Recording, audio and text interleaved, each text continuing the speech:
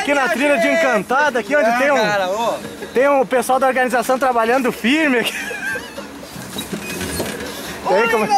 Ô, é- Michel, como é que te me deixa fazer umas coisas dessas? Como é que tá o trabalho aí? Tá firme? Tá puxado, cara.